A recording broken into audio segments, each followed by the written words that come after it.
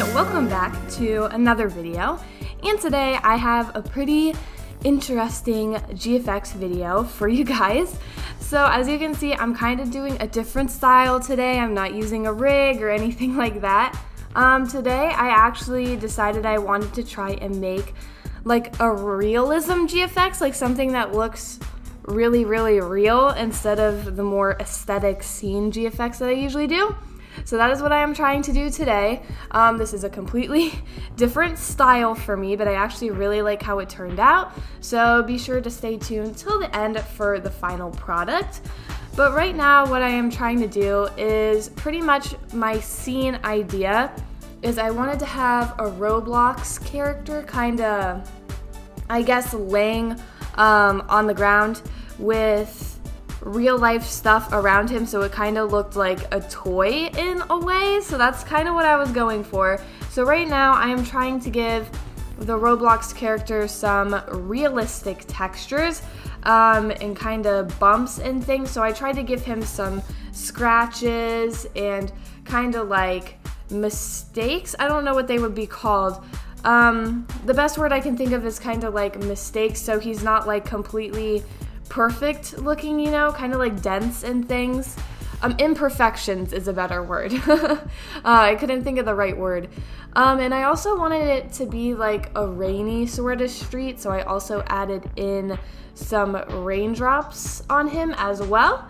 Um, and actually, this GFX, I don't know, like normally GFX only take me a little while, maybe um, how long? Maybe like a couple hours to do um, normally, but with this GFX, it took me hours and hours and hours. I did this over the course of three days just because it took so much and especially because it lagged my blender like crazy because of how like high intensity the graphics were.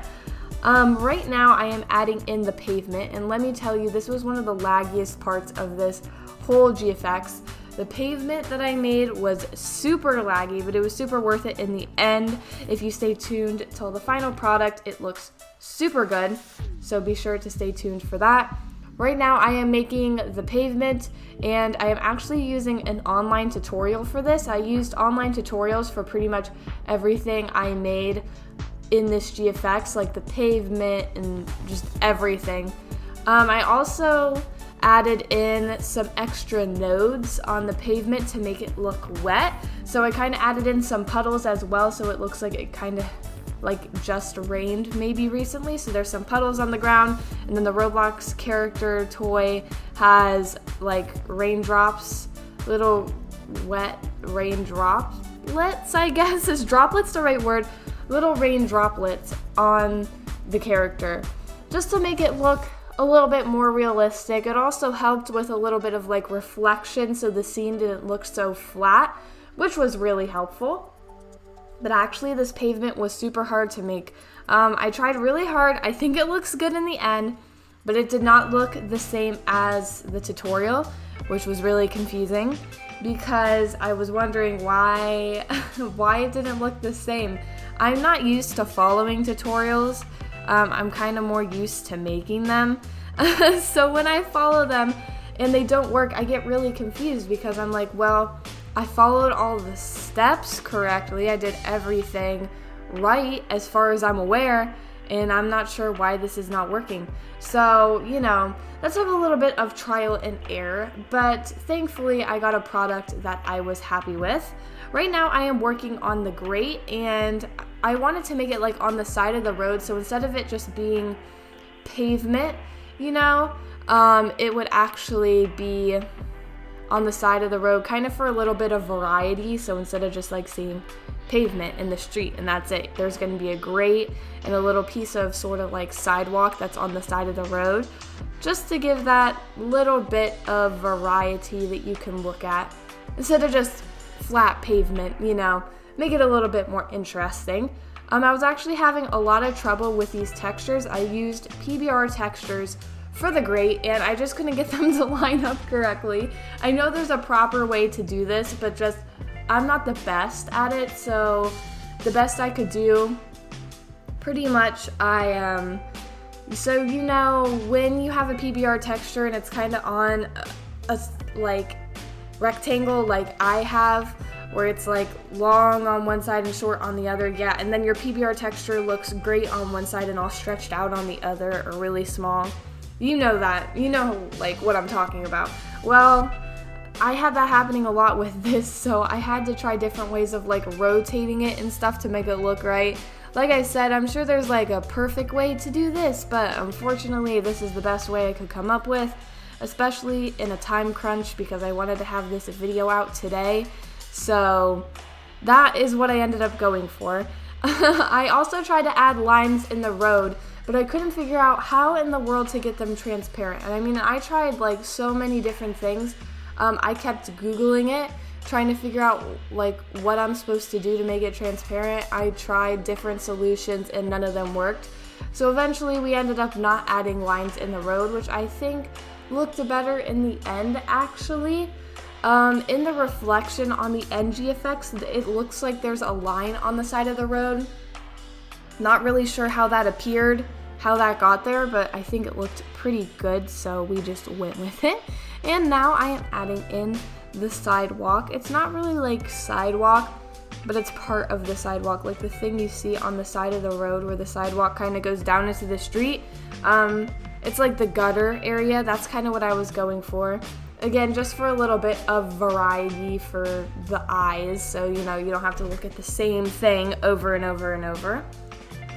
And now I think I am adding in an HDRI, just getting ready to render, um, testing out different lighting and stuff. I actually ended up really liking the first HDRI I picked, so that is the one we went with.